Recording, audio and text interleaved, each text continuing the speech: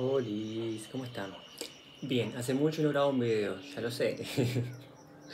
y como les contaba hace tiempo en videos atrás, tengo ganas de grabar un video de mi experiencia siendo mormón y luego contarles del por qué soy una Muchas personas pensarán que son títulos un poco chan, como por qué soy una pero les juro que todo tiene una explicación lógico-racional, pero eso será en otro momento.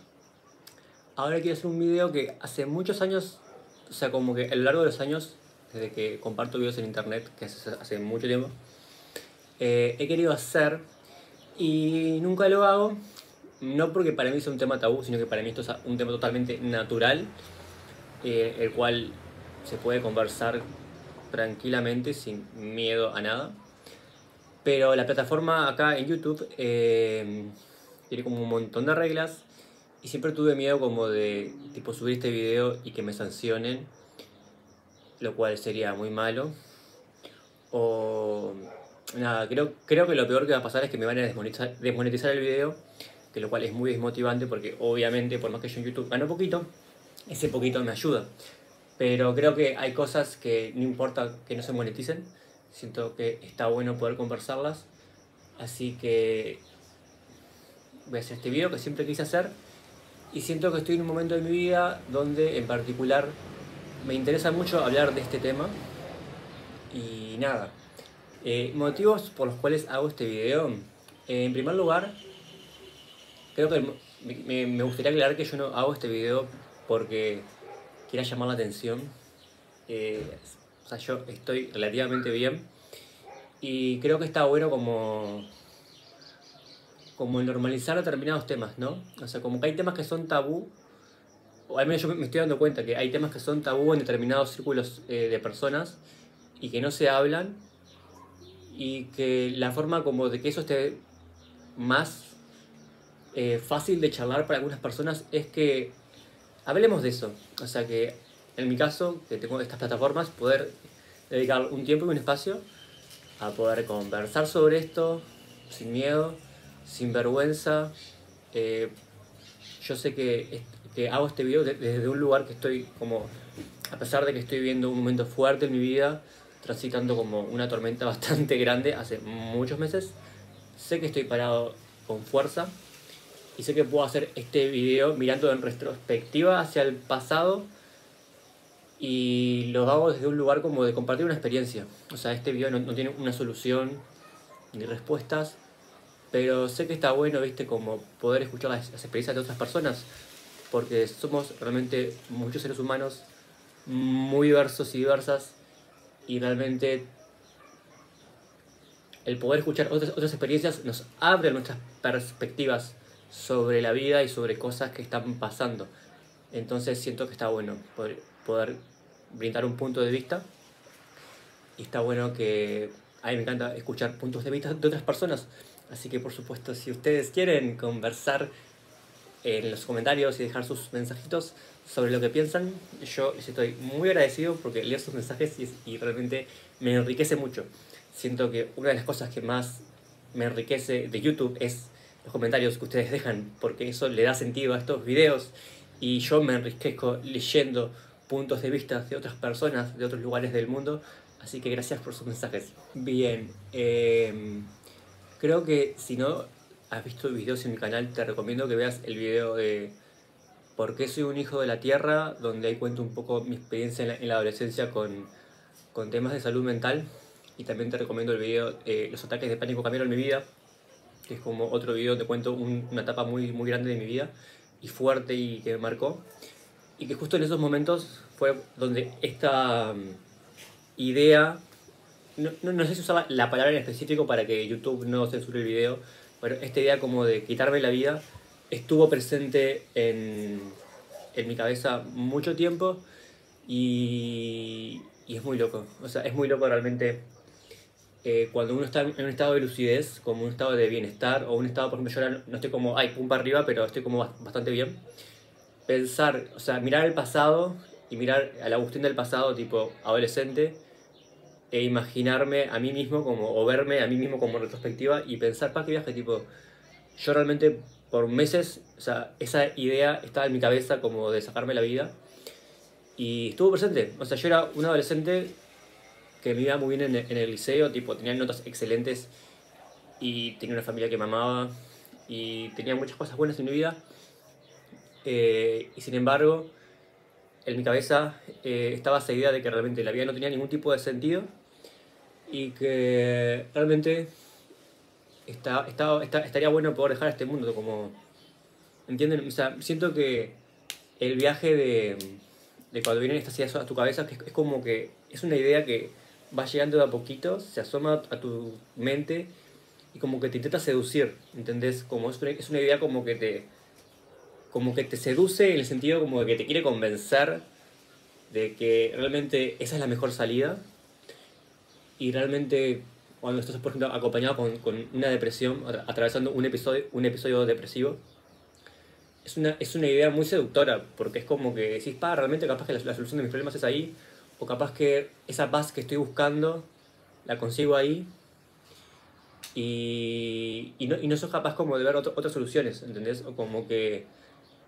Y eso es un bajón, ¿entendés? Es, es, muy, es muy triste como estar en ese estado, ¿entendés? Y realmente pensar que esa es la solución y cómo esa idea te acompaña, ¿entendés? En tus días, tipo, haces tu vida, estudias, comes, eh, tenés vida social y, y, y, lo pensás, o sea, llegas a tu casa y pensás eso y es como que wow, ¿entendés? O sea, y, este es el viaje. El viaje creo que es algo que también por algo es, es, algo que me, me, interesa mucho hablar esto porque sé que a mucha gente le ha pasado o le pasa esto puntualmente no lo hablan, ¿entendés? Tipo, no, no lo cuentan por, por miedo y por vergüenza, ¿entendés?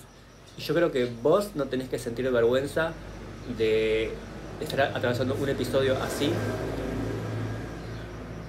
porque obviamente que es algo malo, pero no, o sea, es malo en el sentido de que, de que, de que estás atravesando un, episodio muy feo de tu vida, pero yo lo que he visto, que esto lo, lo, aprendí cuando crecí, porque empecé a conocer a otra gente, de que yo crecí en un entorno muy seguro, ¿entendés? En un entorno familiar y de amistades muy seguro, en donde yo soy una persona que puedo expresar mis sentimientos y puedo conversar con las personas a mi alrededor sin temor y sin miedo a ser juzgado ni que me traten de, de loco o, de que me digan basta, tipo, no exageres, eso es un dramático. O no, yo no, yo crecí en un entorno donde la gente me escucha y yo escucho. O sea, como que para mí lo normal es escuchar y ser escuchado. Y luego, a medida que fui creciendo, me di cuenta que hay personas que, que no cuentan con esa suerte, que no cuentan con esa red de apoyo y que cuando atravesan un, un, un episodio de su vida de depresión y que comienzan a tener esta idea como de quitarse la vida, eh, tienen miedo de decirlo porque su familia le dice, ay, no, no exageres, tipo, sos re dramático, re dramática. Entonces, o, o, o, o, realmente estas personas tienen miedo de que, de que piensen que quieren llamar la atención, ¿entendés? Y es un bajón eso que piensen eso de vos, porque realmente está bueno como poder contar lo que a uno le pasa. A mí, y para mí es lo más normal del mundo, ¿entienden? O sea, a mí me, pasa eh, puntualmente en momentos de mi vida que realmente estoy como muy mal y, y esa, esa, idea llega a tu cabeza, tipo, llega a tu cabeza y luego se puede ir. Pero me junto con una amiga y le digo, pasa que la verdad es que estoy re mal y, y he tenido pensamientos re feos sobre cosas que, que son feas. ¿Entendés? O viene una amiga y me dice lo mismo, estoy atravesando un momento muy fuerte en mi vida, muy mal, tengo una sobrecarga emocional en mí muy fuerte y he pensado cosas horribles, ¿entendés? Cuando uno lo, lo conversa, uno es apoyo para la otra persona, ¿entendés? Y a la vez uno es apoyado, tipo, todo va a estar bien, vamos a buscar ayuda profesional, si podemos encontrarla, ¿entendés? O sea, está de más poder conversarlo. Entonces me parece muy triste que haya personas que estén viviendo esta situación en su vida y que tengan miedo de contarlo porque hay como todo este tabú de, de, que lo haces para llamar la atención o que se ríen de vos porque sos un dramático, una dramática. Entonces esas personas en, en realidad... Eh, se cierran más todavía, ¿entendés? Porque yo recuerdo que una, una cosa que yo pensaba mucho y que es un, un, pensamiento muy recurrente cuando estás en esos estados es que te, te, te sentís una, una, carga para, para, tu familia, te sentís una, una, carga para tus amistades y te sentís como una carga para el mundo en sí. Entonces lo que menos querés hacer en ese, en ese momento es como molestar a alguien. Y lo que menos querés hacer es llamar la atención. Y, ¿entendés? Entonces cuando vos te animás a abrirte, a comunicar tus emociones y algo que está pasando, pasando que, que te supera, y que venga alguien y te diga que, que querés llamar la atención o, o que, que, o sos, un dramático dramático, cuando en realidad lo que menos querés es molestar a otras personas, no querés molestar a nadie, al contrario, es, es muy feo, ¿entendés? Es muy feo. Yo tengo la suerte de que tengo un entorno muy seguro, ¿entendés? Donde puedo abrirme emocionalmente y nadie me va a juzgar, me van a apoyar y a la vez mis amistades, mi familia, al, a la inversa, pueden confiar en mí, en sus emociones. Entonces creo también que está bueno hablar de temas, como en el caso de que, de que a vos te toque, como te digo, que escuchar a alguien que, que está pasando esto, eh, no pienses que, es para llamar la atención o no pienses que es como para... es un, un tema de ser dramático, de ser dramático, entonces tipo, apoyarle emocionalmente y si podés ofrecerle tipo ayuda para que esa persona profesionalmente pueda recibir ayuda para salir adelante, demás, eso sería muy bueno. Bien, sigo contando. Eh, cuando era adolescente pensaba mucho eso y pensaba realmente cómo lo iba a hacer, la forma, la forma menos dolorosa y todo eso, y, y nada, y todos los pros y contras. Y cuando pensaba el por qué no debería hacerlo, saben que mm, siempre pensaba en mi familia, pensaba en, mis seres queridos. Y aunque yo pensaba, aunque a veces me, me sentía una carga, ¿entendés? Que son ideas como ilusorias que vienen a tu cabeza, como que te sentís una carga, cuando en realidad, tipo, la gente te ama y te quiere, pero vos igual te sentís una carga. Y. Y, y, y, después de pensarlo tanto, es como que terminaba pensando, no, pero si lo hago, mi familia se va a sentir muy mal y, y mis amigas se van a sentir muy mal. Y ahí me di cuenta lo, lo importante que son las redes de apoyo, ¿no? En, en este mundo donde a veces se fomenta tanto la individualidad, donde tenés que ser súper mega independiente e individual y salir adelante solo en todo. Yo creo que en realidad somos seres que evolucionamos en grupo, en conjunto, y, la, vida se, trata como de eso, de, de ser interdependientes. Obviamente ser independientes uno y salir adelante en la vida uno, pero saber tipo crear comunidad, redes de apoyo, lazos, porque para mí eso es natural en el ser humano, ¿entienden?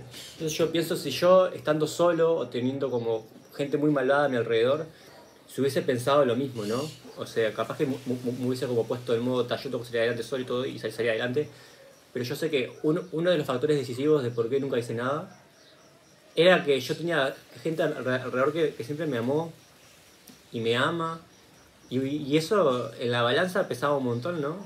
Pensar de que esa acción que yo iba a hacer, que sabía que en, el fondo muy de mi mente, a pesar de que yo pensaba cosas horribles, sabía que no era la solución, pero estaba cansado y quería hacerlo. Yo sabía que, que eso le iba a generar mucha tristeza a, a- mis seres queridos. Y claro, yo mis seres queridos lo- los amo, y porque siempre fueron buenos y buenas conmigo. No, no, no hablo de perfección, pero sí de que, de que siempre recibí amor y apoyo. Entonces también eso, ¿no? Como la importancia de, de, de la vida de los vínculos, ¿entendés? De, de nada, de que realmente no, no somos seres aislados, ¿entendés? Que somos seres que, como les digo, evolucionamos en comunidad y como que no sé por qué se fomenta tanto esta, esta individualidad, de, ¿entendés? De yo solo, yo sola y los demás no son nada ni nadie y como de objetivizar a las personas, no sé, como que ahí me quedo, ahora que lo pienso, viste, luego como de muchos años y, viví muchas cosas, eh, refuerzo esa idea, ¿no? La idea de que realmente somos seres interdependientes y que los vínculos son muy importantes, tener vínculos sanos. Bien, eh, el otro momento de mi vida donde muy fuertemente pensé esto, ay, me pica la nariz, creo que tengo un poco. Eh, bien, el otro momento donde viví esto fue cuando tuve esos ataques de pánico, que tengo ese video súper largo hablando de eso. Y ahí fue algo completamente distinto. Y ahí entendí lo que realmente es tener una crisis. O sea, como tener una crisis como fuerte y como realmente cuando tenés a alguien enfrente tuyo que está viviendo una crisis de pánico, por ejemplo, tampoco puedes decirle no exageres, ¿entendés? Porque o sea, se te escapa de las manos, ¿entendés? O sea, cuando era adolescente era más como acompañado como de esa depresión, que era un pensamiento como que estaba ahí siempre en la cabecita como carcomiendo y, y tirando como ideas feas, que luego gracias a muchas herramientas pude salir adelante, que como les contaba en el video de por qué soy un hijo de la tierra, eh, pude salir adelante y hoy estoy aquí.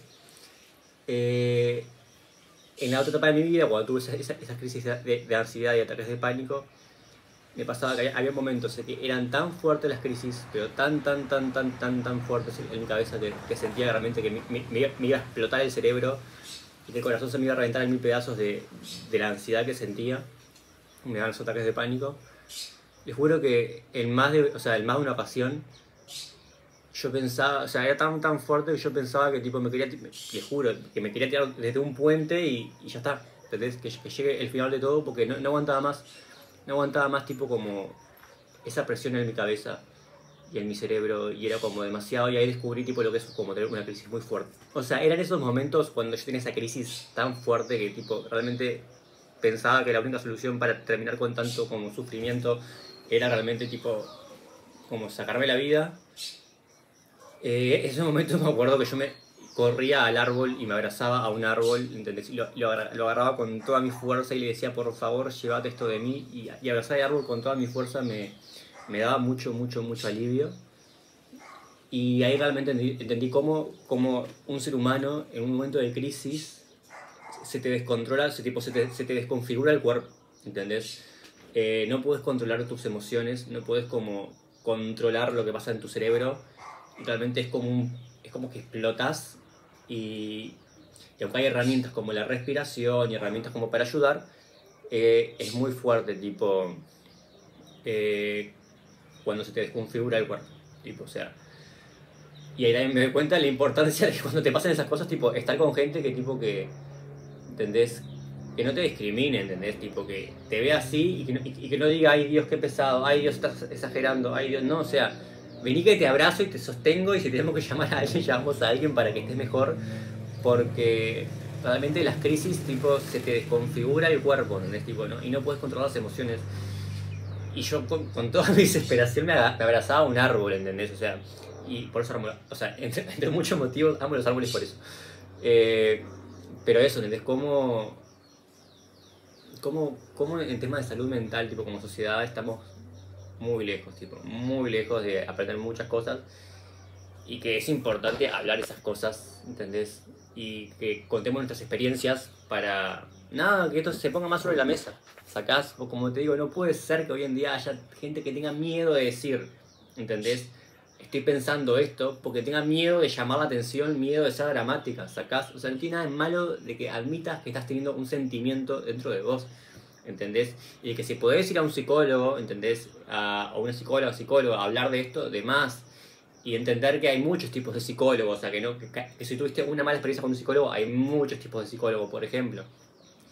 ¿Entendés? Y, y, la importancia de las redes de apoyo, ¿entienden? Tipo, yo últimamente he estado conversando con gente de Estados Unidos, ustedes saben que yo tengo amigos y amigas alrededor del mundo, eh, entonces hablo gente que habla muchos idiomas y muchas culturas muy distintas entre sí, y a mí algo que me dejó anonadado, o sea, me dejó muy tipo...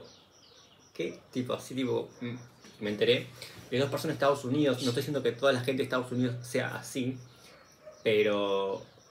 Ta, justo coincido que estas dos personas me contaron una experiencia muy similar. Estas personas me contaban que en Estados Unidos, o sea, en, en su círculo social, obviamente, estas personas eh, dicen que cuando vos estás en tu grupo de amigos, en tu grupo de contención, y te pones a, como a contar que estás muy mal, tipo, estoy como, ah, amiga, ¿sabes que Últimamente estoy pasando cosas horribles, ¿entendés? Como que la gente te dice, ta, para, yo no quiero esto para mí, no quiero escuchar esto, a un psicólogo. Sacás como que te dicen tipo, no me digas lo que te está pasando porque es demasiado para mí, anda un psicólogo, anda a terapia. O sea, está bien, yo respeto que una persona te diga eso porque se dé cuenta que le desborda, le desborda la, la, la situación de que alguien le cuente algo muy zarpado que estás viviendo, ¿entendés?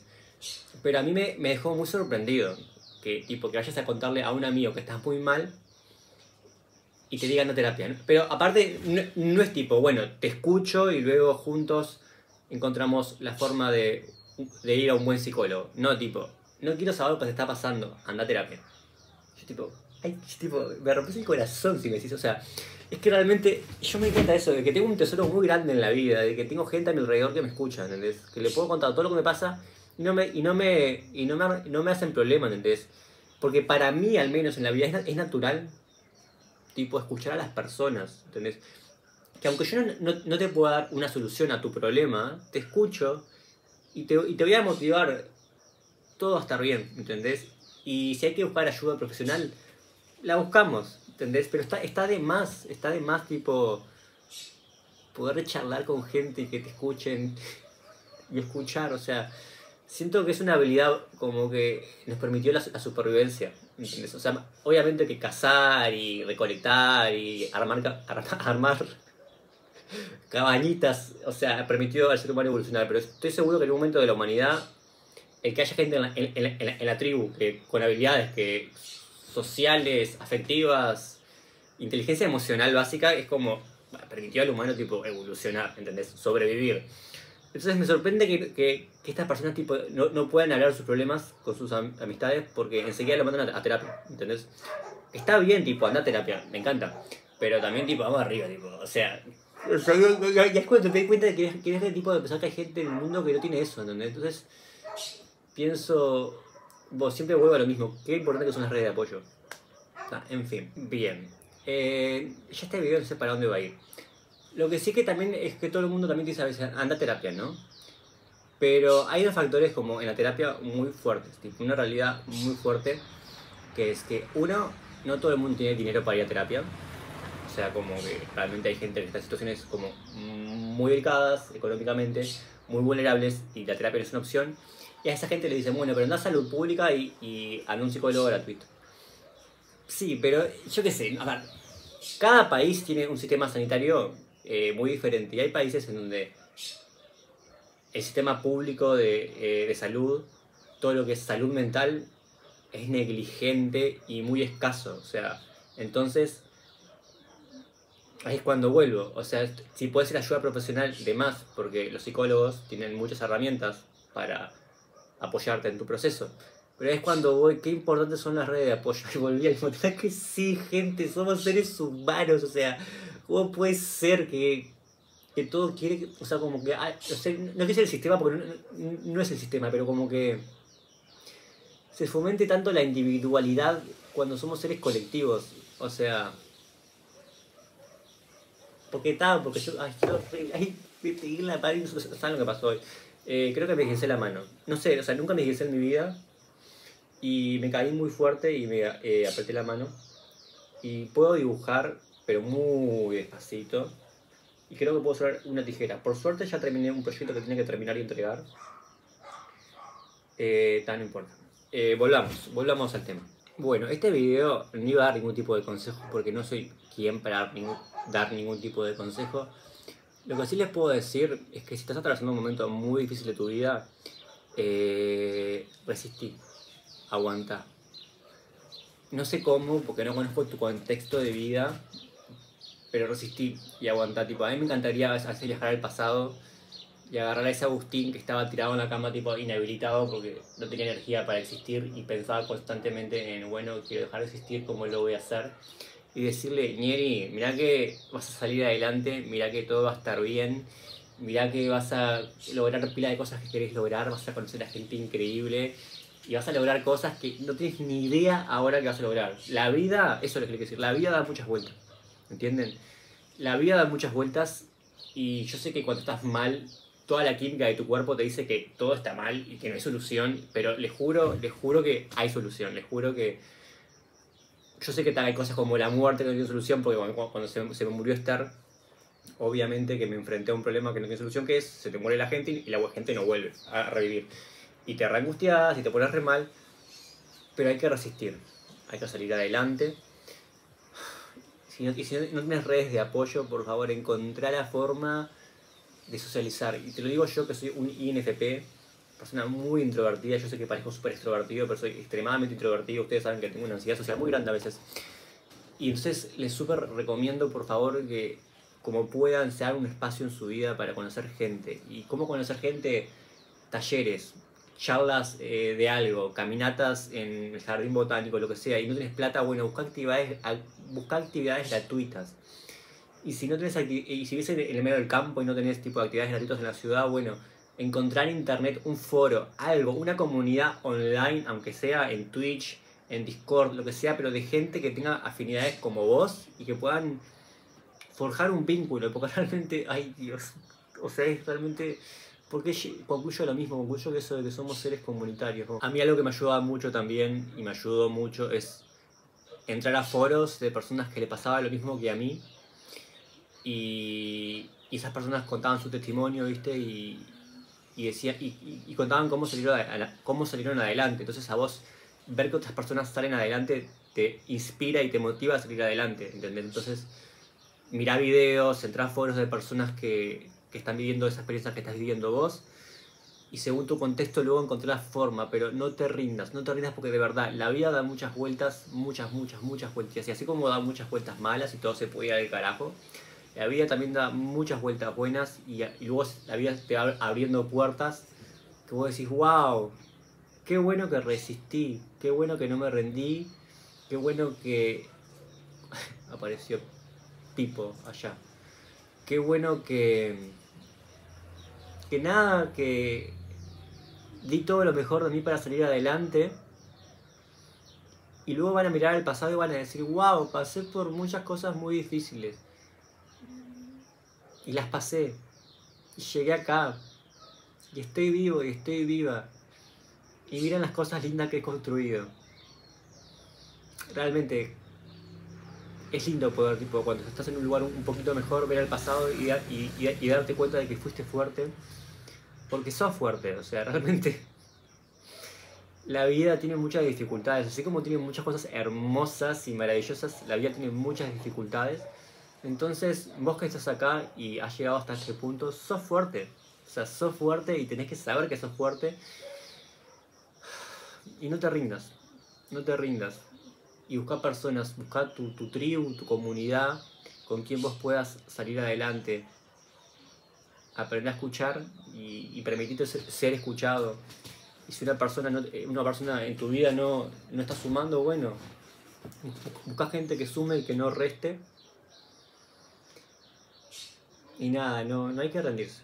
No hay que rendirse. Es lo mejor que les puedo decir. Sé que a veces suena como muy hippie, amor, boludo pero es como mi experiencia es, es lo que tengo para decir. Y está. Em, todo estar bien. Quiero pensar eso, que todo va a estar bien. Bueno, acá termina el video. Tarde de primavera. Hermoso, solcito, sauce, tites, plantas por todos lados. Bueno, chao chao. Se cuidan. Les mando muchos abrazos, bendiciones. Espero que le pasen muchas cosas bonitas. Les están pasando cosas malas, espero que esas cosas malas duren poquito y que puedan aprender esas cosas y salgan fortalecidos, fortalecidas. Y de verdad, que les pasen muchas cosas bonitas. Chao, chao.